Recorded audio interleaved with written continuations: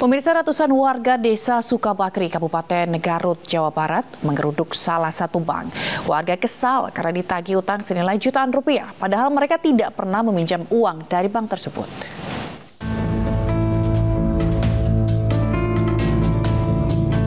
Ratusan warga yang mendadak punya utang dan dirugikan dalam kasus pinjaman fiktif oleh PT Permodalan Nasional Madani atau PNM di Desa Sukabakti, Kecamatan Tarogong Kidul, Garut, Jawa Barat, Warga yang terkena tagihan fiktif tersebut besarannya bervariasi mulai dari ratusan ribu hingga 2 juta rupiah.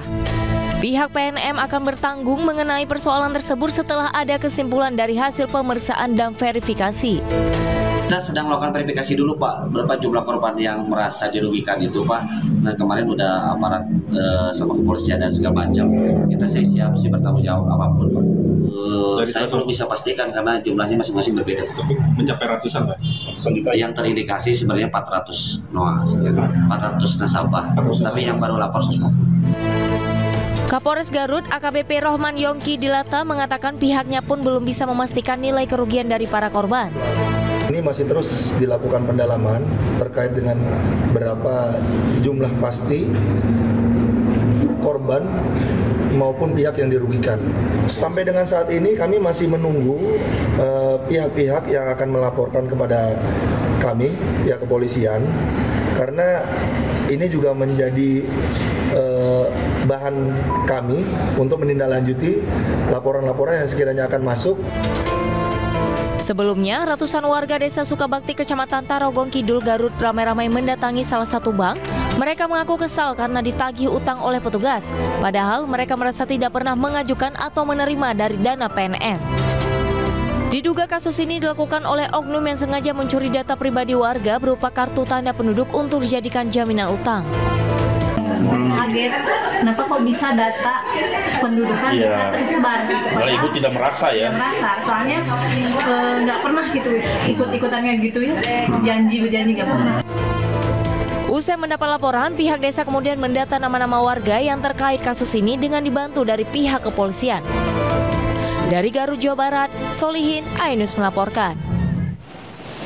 Dan untuk mengetahui informasi selengkapnya, kami telah terhubung dengan Ibu Ima, salah satu warga korban pinjaman PT Permodalan Nasional Madani atau PNM. Selamat sore, Ibu Ima. Selamat sore, Mbak. Bu Ima mungkin bisa dijelaskan lagi kronologinya kok bisa nama Ibu Ima ini uh, ada di daftar list uh, peminjam utang begitu?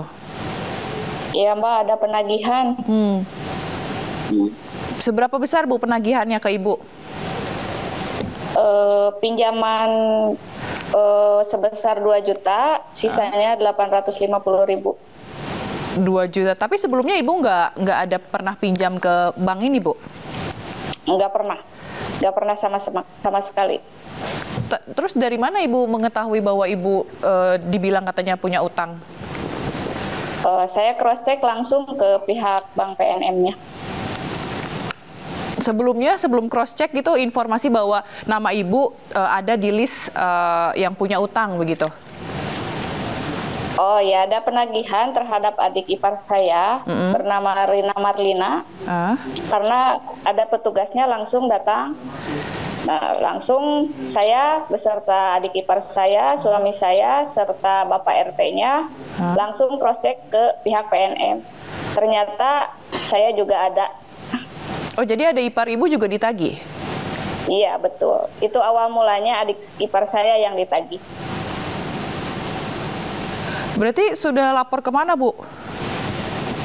Ini sudah lapor ke pihak desanya mm-hmm. langsung, ke pihak PNM-nya langsung, uh, ke Pak Kepolisian juga. Oh, terus eh, saat ini proses penyelidikan uh, sudah sejauh mana, Bu? Masih diselidiki sama hmm. Pak Polisian. Gitu. Yang terjerat uh, utang tidak hanya ibu, ada berapa banyak warga? Ada sekitar 407 orang, satu hmm. desa, hampir satu desa yang menjadi korban. Hampir satu desa dan itu besaran utangnya, eh, besar penagihannya berapa Bu kalau boleh tahu? Rata-rata orang? Uh, rata-ratanya 2 jutaan. 2 jutaan. Iya. Itu 2 juta ada bunganya atau gimana? Eh, nggak uh, tahu masalah itu soalnya uh. utangnya 2 juta. Uh. Uh, kalau hmm, pribadi saya sisanya 850 ribu lagi. Tanggal pencairannya itu tanggal 20 Oktober 2022. Jadi hampir satu tahun sekarang. Berarti 20 Oktober 2022 lalu di uh, dari data ya. begitu hampir hampir setahun gitu ya. Jadi sisa Ibu 850 ribu lagi gitu. Ya, betul. Baik.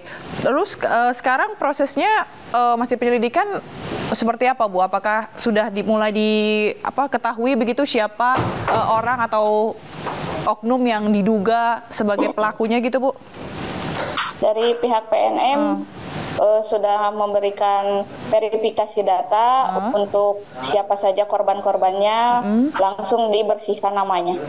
Oh jadi berarti sekarang udah di uh, ini soal pelakunya ibu udah tahu belum siapa yang ini? Uh, nanti saja sama Pak Polisi aja ya. Oh gitu. Uh, diselidiki ya masih Tapi, diselidiki. Oh masih diselidiki.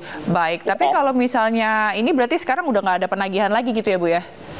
Nggak ada. Udah di baik baik. Baik terima kasih Bu Ima telah bergabung bersama Aini sore. Salam sehat selalu. Semoga uh, segala sesuatunya semakin lancar lagi Bu ke depannya. Selamat sore